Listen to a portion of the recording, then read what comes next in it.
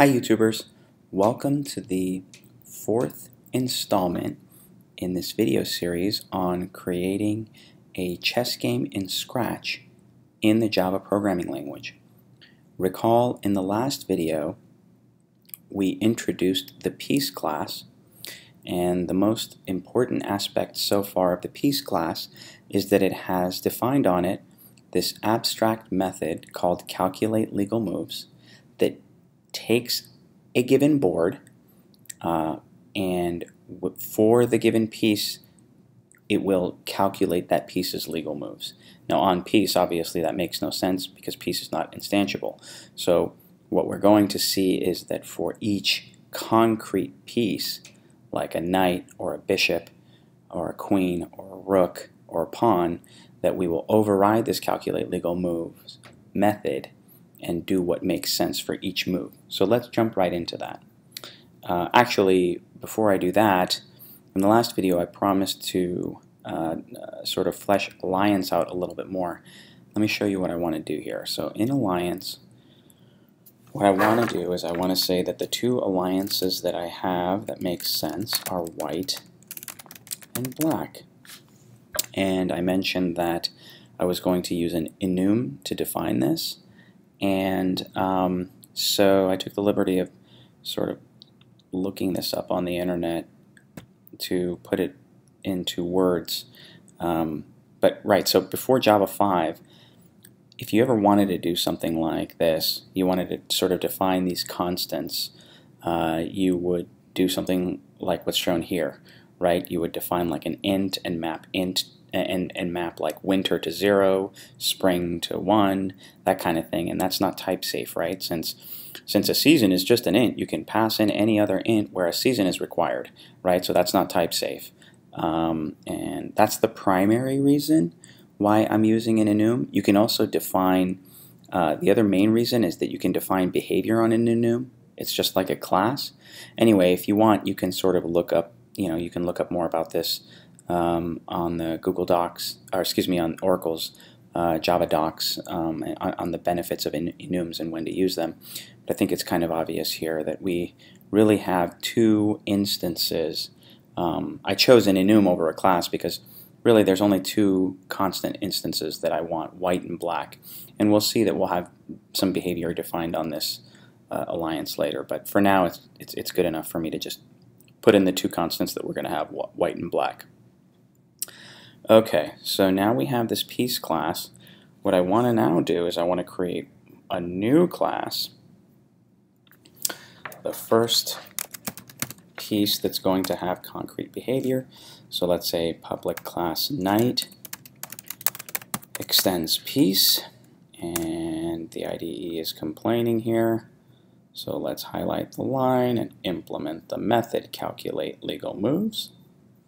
Voila, now, what is this complaining? There is no default constructor. Right, so I wonder if I can get the IDE to do that for me. I think I can. Create constructor matching super. Yep. Bam. That's awesome. So let's mark these final. Right, there we go. Let's get rid of this. Okay. So now, here we go. We have the beginnings of a knight. And so let's talk about how to calculate the legal moves for a knight.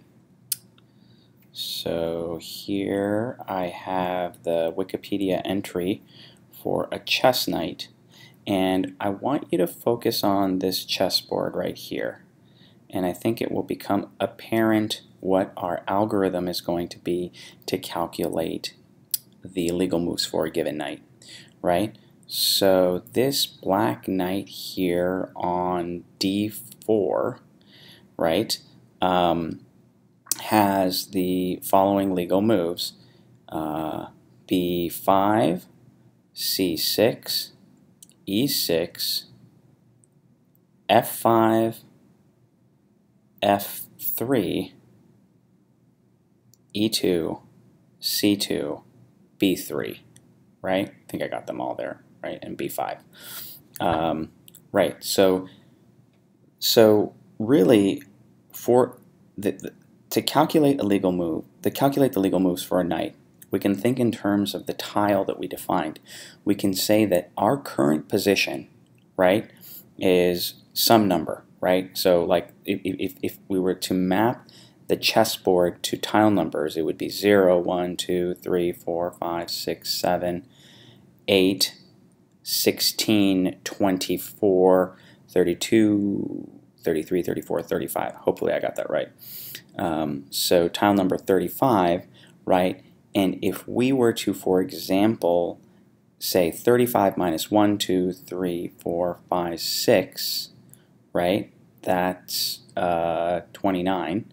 Then that is a candidate legal move, right? That would be a candidate legal move for my current position. So what we can see is that minus 6 positions from my current location is one possible um, legal move for the knight. It's not necessarily a legal move because that slot may be occupied um, either by a friendly piece or it may be that it's sort of out of bounds, if you will, right? That it's sort of an, it's an illegal square. It, it, you know, you can imagine minus six if my knight were defined here on b8 would not make any sense.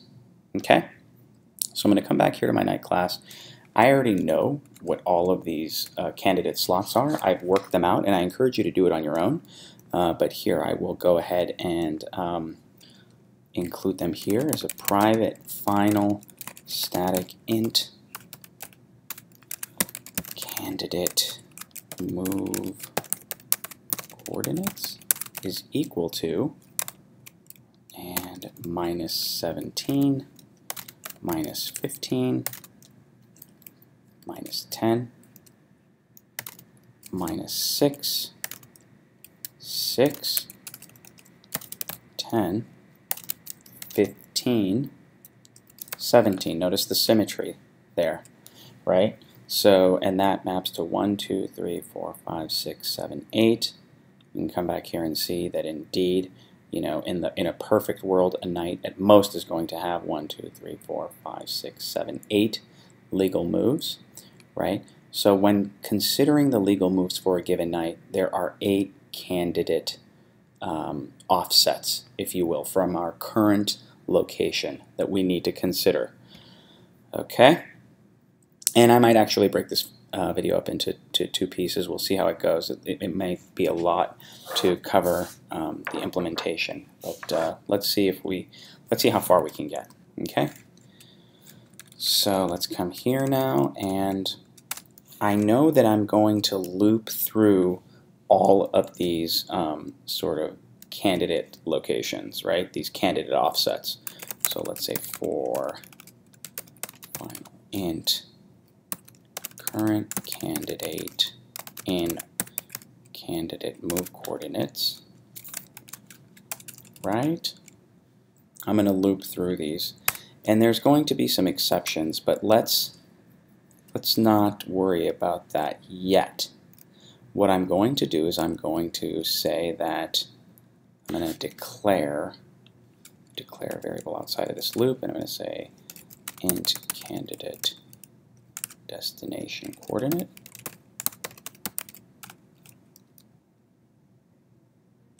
Right. Sorry about that. And I'm going to say candidate destination coordinate is equal to this dot piece position plus current candidate, right? So basically applying the offset, whether it's positive or negative, to the current position, okay? And um, that's going to uh, then have a, a, value. And so the easy thing to do is it's going to be the condition is going to be something to the effect of if um, and let's just put uh, let's put true here for now but let's think about this. It's going to be something to the effect of if this um, is a valid tile coordinate right? C coming back to our picture here, if we're not, if we don't go out of bounds, right? If we don't go out of bounds, then we want to say final tile candidate destination tile is equal to, and we want to get the tile of the board of that candidate destination coordinate. So we're going to say something like board.getTile and give it the candidate destination coordinate. The candidate destination coordinate. Yep. Okay, a lot of things are undefined here. Let's fix that on the fly. Um, right. And now that we have that tile, right, we want to say if that candidate destination tile is not occupied, let's get the easy one out of the way first. If it's not occupied, then we're going to add that to one of our legal move locations. So let's come out here and say list of move legal moves is equal to new array list, right? This is going to be used to capture our legal moves. Say that that's final, right? That can be final. Um, so here we'll say legal moves dot add and it's going to be, you know, we're going to add a new legal move here, and we haven't really, if you look at our move class, it's empty. So let's just, for now, say new, we, we'll stub this out, new move, okay? And we're going to have to give this, we're going to have to sort of provide some parameters to uh, the move, uh, and, and we might do that in a subsequent video. Here, we'll see how far we can get. So so we've seen, let's, let's sort of walk through this. For each one of our candidate legal moves, right, like in the example we saw that I did uh, manually, the candidate was minus 6. We go through each one of them. We apply the offset um, to a member field, a, a, local, a variable, if you will, um, and, and we call that variable candidate destination coordinate. We apply that offset, right? That's what that variable is going to take on that value. So whatever your current piece position is plus that offset. In our case, it was minus 6, so minus 1, 2, 3, 4, 5, 6 is 29. Then um, we apply it, and then we go if um, tile 29 is valid, in our, in our, case it will be, then we come in here and go if um, it's not occupied, then add that legal move, right? If it is occupied, else, if it is occupied, then we need to get the piece at that location.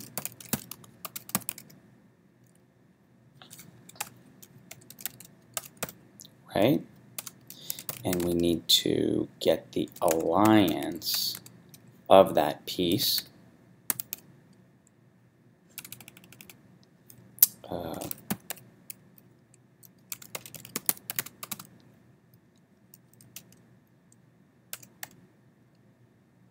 oh, I didn't write a getter method for that yet, so let's come over to piece and let's create that getter method.